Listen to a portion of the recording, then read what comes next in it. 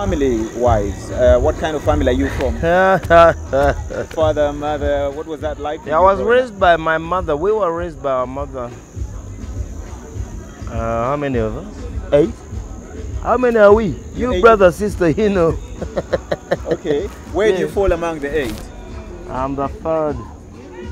Okay. I'm the third. And what were you? What was it like for you growing up? Is this a musical family? Yeah, we we're a musical family. We are a musical family. We're very artistic back home. It's mostly laid back on uh, the father's side, my father's side. My father died when I was little.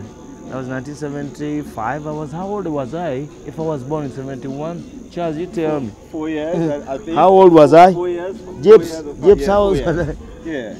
Now look. So your mother raised you up. She raised us a struggler, a hustler, a hardcore woman. Is She lives in alive? Nairobi. Yeah, she's alive, living in Nairobi. And then this music thing. Okay, you spoke about uh, you know school and all Let me that. tell you, Yes. in school, we were not forced, but you chose, especially primary school, because primary means foundation. Primary. We had everything around us traditional instruments. Eh? byonna weebiri Okay. Right.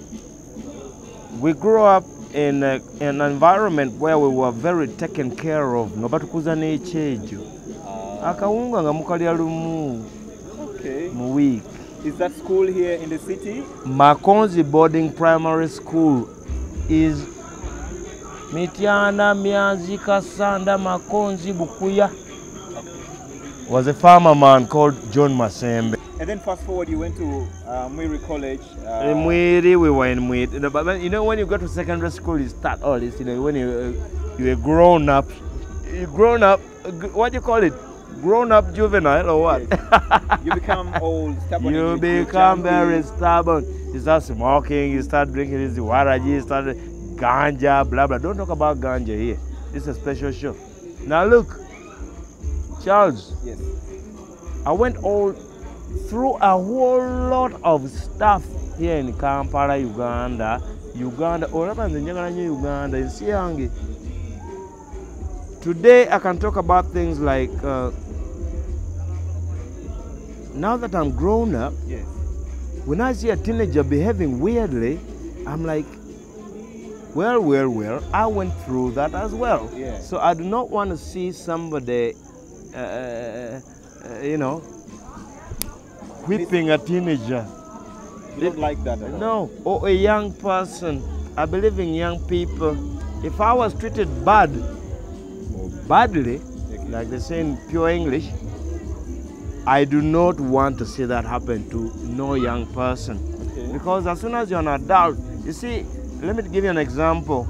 If you commit a crime when you're 50, if you commit a crime when you're 19 or 18, you're going to be given the same punishment by the judge. Because you're an adult, yes. Yes. Now, those below should be handled carefully because as soon as you, you, you trouble them, they're going to be troublesome as well okay. up there.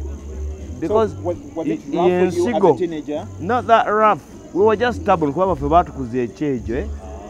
naye ekyekyo kiyambako olw'okuba nti omwana toyagala muyisa bubi era nze ayisa bubi omwana aba eneme eh. oyo abadde enjalasi nnyo omuntu ayisa omwana obubi omuto aba mubi nnyo nnyo nnyo omuntu oyo nga mukulu. Eh, one of the many reasons because uh, olaba ffe ba artist we have to give information back to society we have to talk about things that happen in society omuntu ayise omwana omuto obubi aba stand kubanga oyo omuto yagenda okufuuka omukulu eri gye bujja Now I understand the inspiration good that you song. comprehend that Yes, is good Abato.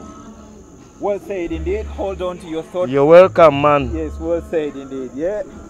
Rastafari in the original Yes, indeed. jeps toyogere ku bantu ne bano yange oyogereko n'abantu Gypsy is right here. Oh, jangu Gypsy. Gypsy right here. Keeping us company. babuzi babuzi Say hello. say something man